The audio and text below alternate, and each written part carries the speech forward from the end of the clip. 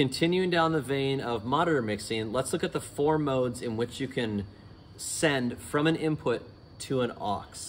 They are pre-fader, or right, I should say that first of all, they are input, which is right off the preamp, then pre-fader, which is post-processing before the fader.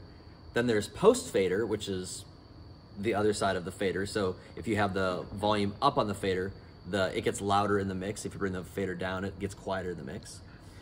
And then the last one is PSP, is what they call it, is post fader, post panner. So if you pan something left in the house, it's gonna go there in the ears as well. By default, I'd say 95, probably more than 95% of the inputs in your LV1 default show file template are in pre-mode. So that way, um, if you're moving faders around on the house side, because we're using the same input for house and ears, if you're moving uh, the fader, we don't want that to impact what's happening to the musicians. We want them to basically set it and not have it impacted by what the engineer is doing. So that we use them in pre. The exception to that rule would be on the utility channels. Those utility channels would be things like um, uh, walk-in music, maybe ProPresenter playback, um, talk mics or host mics, the handhelds, uh, the teacher mic. Those are things you don't want in pre. So if you ever have your band say, oh man, I heard the pastor singing the entire time, that means that your sends to your monitor packs are set to pre on your headset channel. You don't want that. You want those set to post so that when the engineer brings up the pastor's channel, now it turns on in the monitor packs or the host mics, walk-in music, things like that.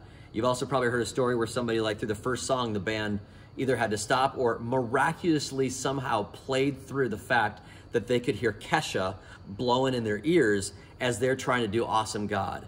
It's it, just a really interesting mashup in their ears, I'm sure. Not something we want to have happen. So that's set to post instead of pre. So let's just look at what I'm talking about here real quick. We're looking at the channel window. All this purple is pre. If I tweak it, or push it, I guess, you get to post. There's PST, so that's post fader. PSP, again, is that post fader, post panner. So you can see the panner now shows up. And then INP is input. So that's direct, basically think of it as like a direct out right off the preamp. So they each have a different color.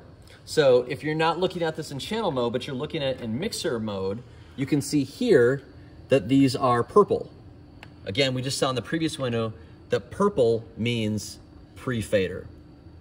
We talked about utility channels. Here, these are kind of orange or amber or brown, whatever kind of color shows up. Um, that means post. So I know that all these utility channels are set up as post. I can change it here.